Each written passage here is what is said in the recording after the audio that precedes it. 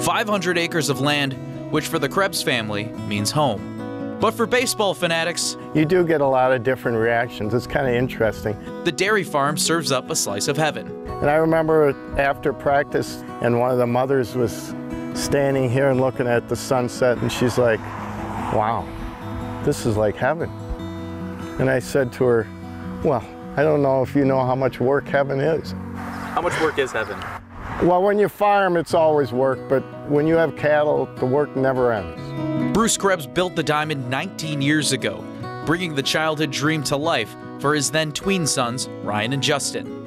And they needed a backstop because we wouldn't allow them to go across the road. And we got the foul poles and Well, of course, they wanted an outfield fence because you got to hit home runs. And then we got the scoreboard. And then once Ryan learned how to mow, I said, well, go, you know, to the edge of the cattle shed because that's probably where we'll put the fence.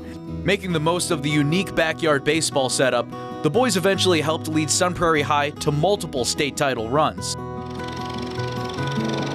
But Justin says the payoff went beyond the game. It's not just the field, it's the farm. I come out here every day now, full-time work.